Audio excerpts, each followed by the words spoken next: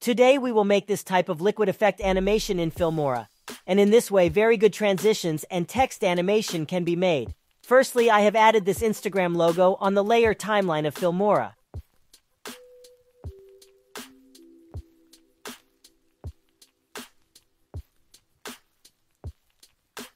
Then added an adjustment layer from here.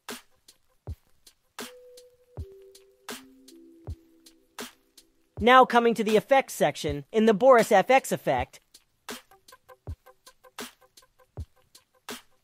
BCC curl, this effect has to be applied on the adjustment layer.